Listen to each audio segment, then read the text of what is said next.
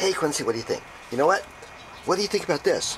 If this is what it takes to open your acetylene tank, like two to three hundred uh, pounds of torque, then something's wrong, wouldn't you say? Yeah, I thought so.